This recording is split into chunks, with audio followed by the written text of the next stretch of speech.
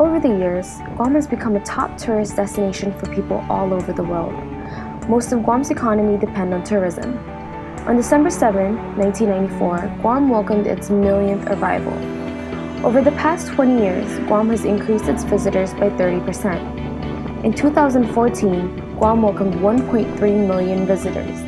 By 2020, Guam has a projected goal of 2 million visitors, which is a 50% increase in the next five years. An extra 700,000 visitors annually will have a huge impact on Guam's environment, infrastructure, and quality of life.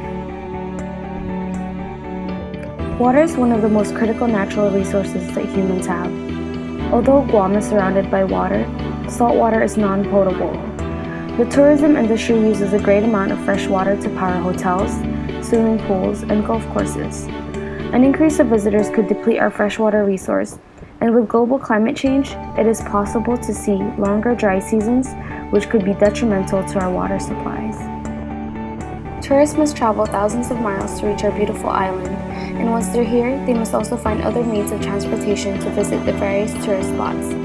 Transportation emissions continually add to the increase of CO2 in the atmosphere. Noise pollution from various transportation and recreational vehicles has become a growing problem in modern society. In addition to causing health problems for humans, noise pollution also causes distress for wildlife. Many of Guam's public beaches lack proper trash bins.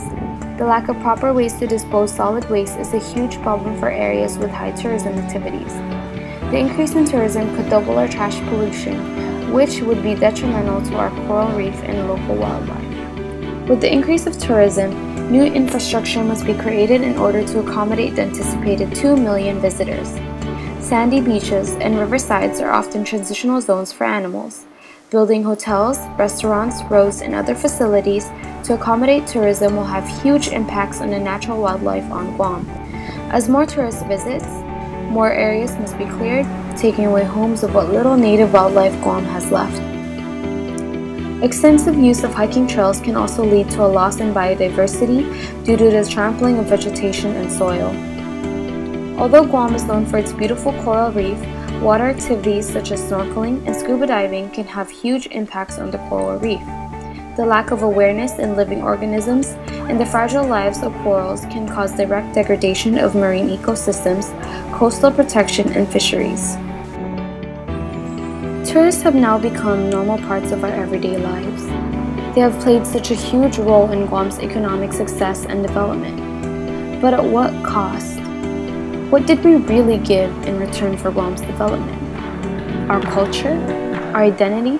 Our heritage? Is Guam truly ready for 2 million visitors a year?